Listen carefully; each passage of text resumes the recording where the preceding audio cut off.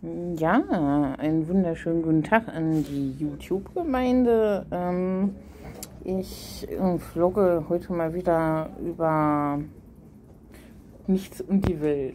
Ähm, nein, Scherz beiseite.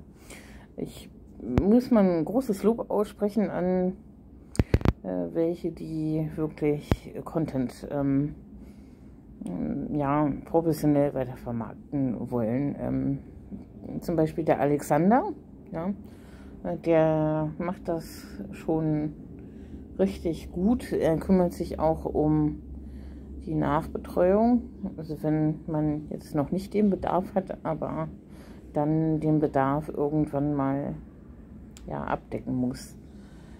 Ähm, was mir auch jetzt die Tage positiv aufgefallen ist, ähm, es hat sich ja so einiges verändert, ne? Äh, gerade durch diese Waschlappen-Theorie, ne? Waschlappen-Praxis und ähm, ich sage jetzt mal so, ähm, ich glaube immer noch an wirtschaftliche Hintergründe, weil äh, was ich heute erfahren habe, ist dieses eine Impfunternehmen, äh, Bill Gates äh, äh Sache, weil der da irgendwie Geld reingesteckt hat. Ich glaube aber nicht an die DNA- und DNS-Chip-Theorie, äh, dass jeder unter der Haut äh, die Computerchips irgendwann tragen muss. Ich glaube eher an eine ganz andere Praktik. Ähm, die Grippe soll ausgerottet werden, denke ich. Punkt 1. Punkt 2.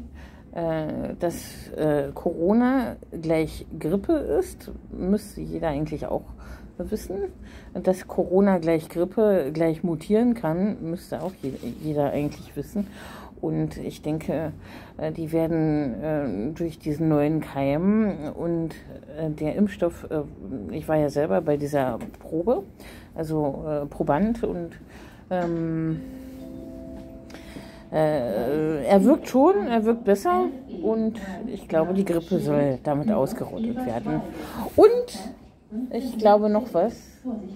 Ich glaube ähm, nicht an den Weihnachtsmann, nein.